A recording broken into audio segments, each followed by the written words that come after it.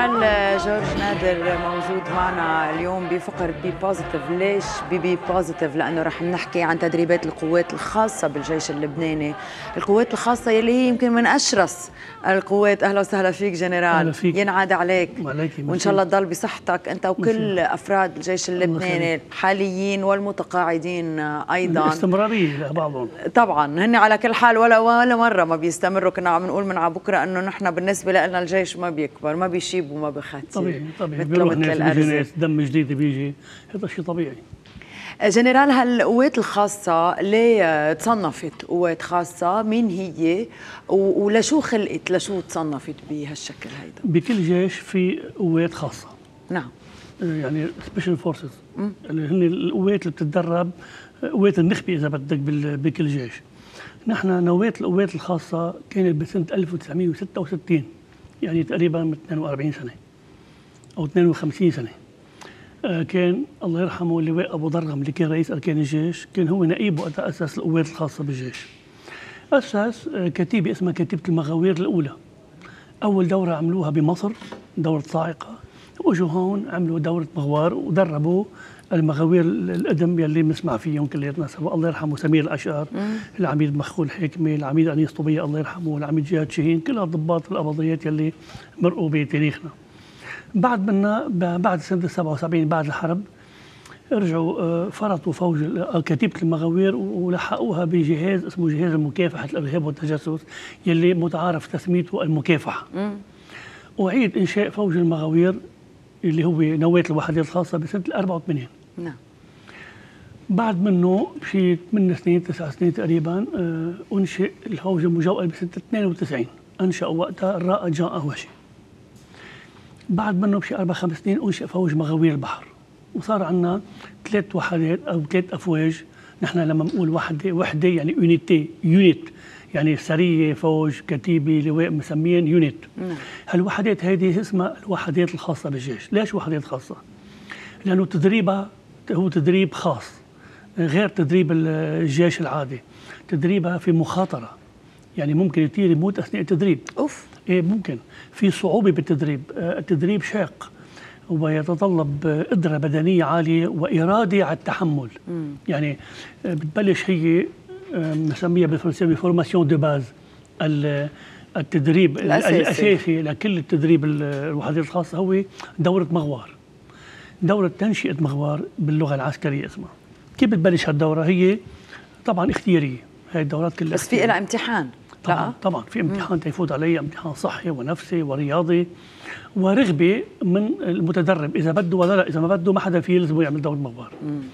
بيكون هو يعمل دورات الخاص دورات العادية آه، دورة مشاة عادية عسكري عادي بيروح على دورة المغوار. بيعمل دورة تحضيرية بعد بعد منها بيعمل دورة مغوار. إذا قطع الدورة وقليل بيقطعوها؟ يعني ولا مرة قد إيه نسبيا من من اللي بيقدموا؟ ماكسيموم 20% أوف. بين ال 10 وال 20% اللي بيقطعوا الدورة. نعم. يعني أنا بتذكر دورتي بسنة ال 85 86 كنا 360 تخرجنا شيء 32 أقل من 10% بشوي. واو. إيه. خدمت قد إيه وقت بالمغاوير؟ أنا خدمت بالمغاوير تسع سنين ونص متقطعين يعني سبع سنين ونص بسنتين. يعني رحت رحت ورجيت وخدمت بفوج المجول ست سنين ونص. كنت قائد. بأفواج التدخل شيء ثلاث سنين يعني كل تقريبا كل خدماتي بالوحدات الخاصة. اسم الله عليك. هذا التدريب الأساسي اللي هو تنشئة مغوار نعم. ما بتكفي بصير عنده اختصاص وحدات خاصة. يعني اختصاص ولا العسكري؟ مثل عسكري مدفعية عسكري إشارة عسكري مدرعات. هيدا العسكري بصير والله الضابط بصير اختصاصه وحدات خاصة. بيروح أو على فوج المغاوير أو على فوج مغاوير البحر أو على الفوج المجوقل أو على المكافحة والقوة الضاربة اللي هن بالمبدأ تابعين لمديرية المخابرات. هلأ هون ما بيكفي. عمل formation دي شو بده يكفي؟ في اختصاصات. بده يختار. بالمغاوير البحر بده يعمل دور مغوار بحري. في عندك غطس في عندك تعامل مع الزوارق القتال بالبحر والقتال البرمائي يعني عندهم التدريبات الخاصة تبعهم. بالفوج المجوقل في آه، آه، تدريب متطور يلي هو التعامل مع الطوافات والقتال خلف خطوط العدو. يعني هي دورة آه، اختصاصه بفوجه بعد منا في بتوزعوا على اختصاصات أكثر من هيك. يعني؟ يعني مثلا دورة قناص دورة مسعف ميداني مسعف ميداني متقدم يعني يعني الميديك بده يكون شغلة كثير مهمة يكون معنا ميديك بكل حظيرات حتى يقدر يخلص وكمان. بيكون عم يخضع لهالتدريبات القاسية 100% ليه؟ المفروض يخضع فيهم ليش؟ بس هو عم بيقاتل؟ بده يمشي معهم أوكي إذا ما إذا منه مدرب مثله كيف بده يمشي معهم؟ يعني إذا جبت أنا طبيب عادي أو نعم. أو ممرض عادي بالمستشفى العسكري مش عامل هالتدريبات وبدي امشيه مع فصيلة من من الوحدات الخاصة ما بيقدر يمشي معهم صعب حتى ال parcours تبعهم 100% يعني بده يكون مدرب معهم. المجوقل مين هن وشو بيعملوا؟ بس خليني كفي التدريبات عندك أنت دورة قناص بده نعم. يعمل قناص نعم. في منهم بيعملوا دورة هندسة ايتال يعني التعامل مع التفخيخات والألغام كيف بيشيلها وكيف بيحطها وكيف بيحذر البقيه منها.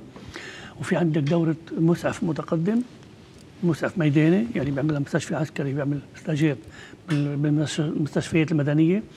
عندك دورة مقتفي الأثر pathfinder في عندك تخصصات بالوحدات الخاصة. هلا هودي حسب الرغبة وحسب آه، نوعية كل عسكري متخصص يعني مش كل الناس بيقدروا يعملوا قناص مش كلهم بيقدروا يعملوا بده يكون عنده قدرات معينة. 100% كل كل اختصاص من هودي يتطلب قدرة ومستوى تعليمي ومستوى آه عسكري معين يقدر يعمل هالدورة. هون بنشوف قائد الوحدة بشوف إنه أنا شو بيلزمني. كم بيلزمني النص كم بيلزمني عنصر هندسة إيديل كم بيلزمني واحد مسرف ميداني متقدم كم بيلزمني وبيعمل دورات بس قد إيه بياخذوا وقت هالدورات كلهم؟ يعني أول شيء تيقدر يعمل دورة مغوار بده يكون عامل ست شهور دورة جندي عادي مشاة تأسيسية. دورة المغوار ثلاث شهور هي تسعة. طبعا مش ورا بعضها في دريب من بعضهم. دورة المجاورة ثلاث شهور. دورة القناص شهرين ونص أو ثلاثة نعم. دورة المسعف الميداني متقدم ست شهور. نعم. بس آه، آه، هالدورات يعني قد إيه فعلا آه، بيتدرب وقد إيه بيكون موجود هالعسكري بمكان صعب؟ لحتى نحن بالنسبة لنا المغوار هو سوبرمان. يعني بالنسبة لنا المغوار لا يقهر. آه، هالقد قوي هالقد بيكون عنده قوة. بس بذات الوقت المميز فعلا وكل الناس اللي بيتعرفوا على مغوير بيعرفوا إنه مقابل هالقوة هاي كلها في قلب في طفل. طبعا في قلب طفل وفي عطاء يعني وفيها التضحيه المغوار من أكثر الناس المعرضين للموت يعني. أنا وصغير كنت كيف أنا رحت على الجيش؟ أنا بيئتي كلها عسكر. آه، أخذونا جمعوا كنا بالمدارس التكميلية ثلاث أربع مدارس بالأبيات جمعونا. قال جايين يعملوا المغاوير يعملوا عرض عسكري بالأبيات. نعم. وكان وقتها الله يطول بعمره النائب مخول حكمة هلا عميد متقاعد كان هو قائد كتيبه المغاوير وعملوا العرض العسكري. عروض افز المطوفات وأكل الحي وهيك. وقوص على رفيقه خرطوش خلبي. نحن ما كنا نفهم بالخرطوش خلبي بس شفنا إنه قوص على رفيقه 30 طلقة وما مات. صرنا نكبس بعض لأنه ليك قوصوا ما مات. المغوار ما بيموت. فات براسي إنه المغوار ما بيموت. طلعت معي بالآخر إنه المغوار هو أول واحد بيموت. صحيح يعني وعلى كل حال صار معك أمور مؤثرة جدا وطلب من إنه مش يعني ما أحكي كثير بالمواضيع بس أنت كمان أصبت. بس الأمور الخاصة مع ناس من أفراد العائلة وهون يمكن الوجع الأكبر إنه لما يكون معك أشخاص من قرايب من أفراد عائلة وبدك تتعامل معهم كأنه أي عسكر اللي كان. وتجرب تضبط على حالك من هالحزن والوجع كمان هيدي شغلة كبيرة. تحية لك جنرال فعلا على الاشياء اللي مرقت عليك. مر علينا كثير ومر على غيرنا. هلا نعم. نصيبنا طلع وصبت أيضا إيه أنا صبت ثلاث مرات. بس المرة الاكثر شيء ب 13 تشرين وقت اللي فاتوا جحافل الاحتلال السوري علينا. وصبت وقتها. شو أقوى إصابة كانت؟ أي إصابة خطرة كثير يعني بالصدفة بينا طيبين كتر خير الله بينا طيبين. بوجهك بفتكر؟ هون بدقني وهون برقبتي وبإيدي هون بإيدي وبظهري يعني. بقي أثار لهالإصابات إيه كلها؟ إيه أكيد. يعني اليوم في عندك مشاكل أنا شكلي بغش اني لابسه ثيابي هلا؟ أكثر شيء ببين الفضايح إذا بنزل على البحر أو بعد الأسبوع ببين الخرايط على الجسم. آه على كل حال هيدي الخرايط هي تاريخكم يعني هي شخصكم بس آه مشاكل صحية اليوم من جراء الإصابات. الحمد لله. في وجع هيك وفي إعاقة يعني إيدي ما بقدر احركهم بسهولة.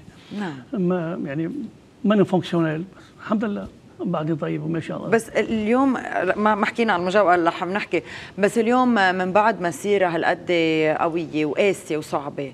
اليوم جنرال بتحس إنه الحق مكتسب عندكم حقوقكم كلها مرتاح في أمور فيها تقصير يعني كيف؟ لك الجيش لنكون موضوعيين. الجيش بكل العهود حتى ما نسمي حدا ما غلط ابدا مع الشهداء ومع المعاقين. بالحقيقة يعني اعطانا حقه يعني آه، ولا مرة كانوا إلا يعملوا لهم آه، نشاطات ويساعدوهم ماديا ومعنويا.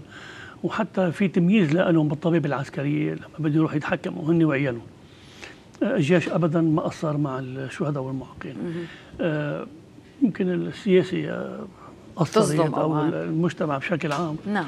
بس بقول لك شغلة بناخذ حقنا لما بنشوف بعيون الناس بنشوفهم لما بنشوف العالم نحن بنشوف قديش بيقدروا تعب العسكري.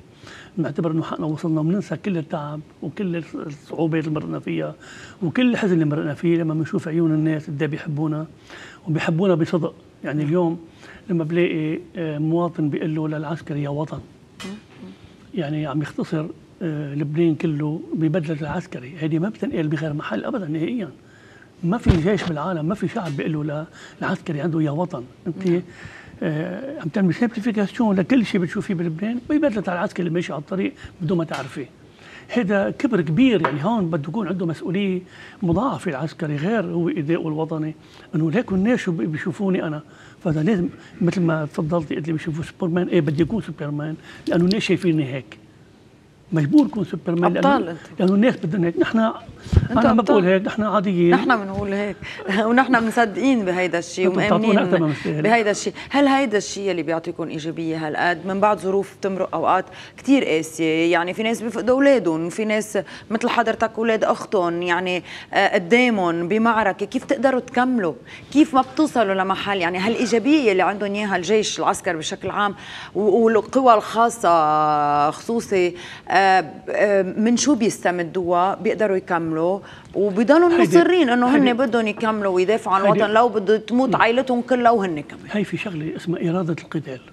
هيدي باللغة العسكرية ما فينا نجيبها هيك نشتريها. فينا نشتري الدبابة والمدفع والطيارة بس ما فينا نشتري إرادة القتال. إرادة القتال بيخلقها القائد.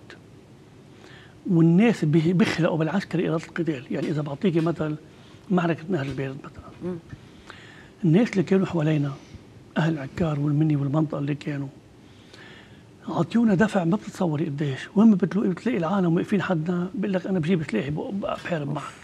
المرة بتعمل أكل بالبيت وبتاخذنا للعسكري. لما ينصاب عسكري بتلاقي العالم كلها ردت عليه كأنه هو من البيت.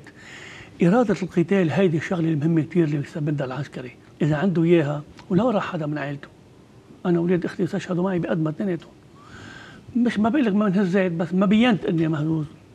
واستشهد زميلي آه، مثل خيي بس عم يرجع الله يرحمه يعني بمعزة خيي وبعدين هلأ على تواصل أنا وأهله أنا وكل الشباب أكيد أهل الشهداء. آه، وبقيت جامد لأنه الموقف بيتطلب هيك. مش معناتها إنه أنا بلا قلب لا أنا بس قاعد لوحدي ببكي أنا. وأنا بحزن مثلي مثل الناس. ونحن عندنا شعور وبنحب وبنكره وعندنا عائله ونحن بنعيش مثل ما أنتم عايشين. ما بيفرقنا شيء عنكم بالعكس. وعندنا قلب بيحب وبيتعاطف مع العالم ومع غيره. بس الموقف العسكري بتطلب إنه الصلاه ببعض الأحيان لأنه على كل حال ابن أختك الثاني كمان يعني من وراء هالموقف الجبار يلي عمله موقف بطولة كمان استشهد ورا خيه يعني نعم. رح لحتى ينتقم يمكن للأشخاص يلي قتلوا خيه بشكل منفرد بذات الفترة بذات النهار أو ثاني يوم أو بعد قد إيه وقت؟ 18 يوم. بعد 18 يوم وراح ضحية لأنه عم بيدافع عن خيه يلي يعني عم بيجرب ينتقم من خيه يلي توفى. الله يرحم نفسه. في كثير ناس مش بس نحن يعني نعم. في كثير بيوت خسرت شهداء وخسرت أحسن شباب. نعم. نحن بنشوف حالنا فيهم بالحقيقة وأنا هيك من يومين كتبت على الفيسبوك عم عيد رفاق السلاح آه الفرنسيوي بيسموه فرير دارم. أنا بقول أخوة السلاح. رفاق الدرب بس أخوة السلاح. نعم. إنه بقول لهم اللي ما بينحني قدام آه ذكرى الشهيد مش قبره ذكرته هيك بس تذكر شهيد بنحني. ما بيكبر ولا بيعرف مستقبله. آه، الشهيد هي الشهيد هو اكرم إنسان بالعالم. هذا حط حياته. ما في أغلى من حياته. جنرال آه، حديث مؤثر ومثل ما قلنا يعني مقابل كل هالقوة فيها القلب الحقيقي فيها القلب الطفل فيها القلب اللي بحب لدرجة الموت. الله يطول بعمرك آه، الله يرحم كل الشهداء ويعطي الصبر لأهلهم. تحية من قلبنا لك لكل عائلتك آه، كمان ولكل العسكر. شكرا لوجودك معنا الجنرال جورج نادر. مسي لك. حناخذ بريك ونتابع خليكم معنا.